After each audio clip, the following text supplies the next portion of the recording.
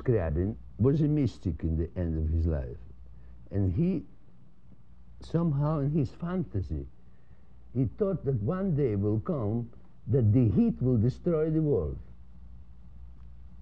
He believed that, he didn't know the atom could be even, even invented that time. He, it was 1912 it was uh, uh, composed. And the piece, he, he, the name of the piece, the title is Vers la Flamme. Vers la Flamme is Toward the Flame. It's very modern, very percussive. It's very crazy. It's very difficult to take it. And this is very thrilling piece, and it's difficult. Yes, I have to take the jacket. Yes, it is difficult piece. It's very special. It's completely special music. It's a, it's a, a more percussive piano. This is a little frightening music. Be prepared for big sound. Okay. If I don't collapse, this is right. okay, let's do it.